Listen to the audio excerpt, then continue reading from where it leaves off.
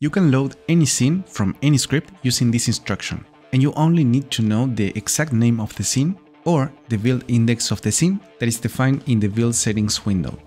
Alternatively, you can declare this first part at the top of the script to use a shorter instruction. Don't forget to like and subscribe before you leave.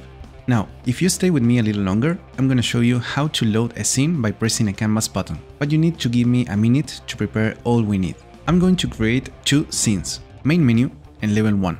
Add these scenes to the build settings window, main menu first. In the main menu scene, I add a button to load level 1.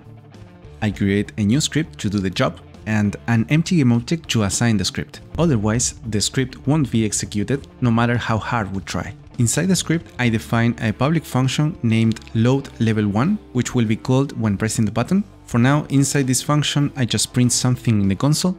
To make the button execute this function, in the onClick event of the button, I add a new element, drag the game object with the script to this field, and choose the function we previously defined.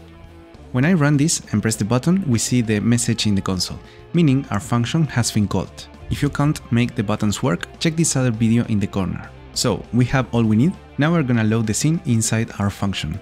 We use the instruction we saw at the beginning,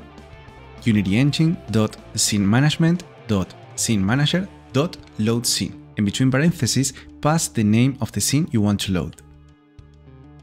Let's run it and press the button. Don't forget to like and subscribe and see you in the next video.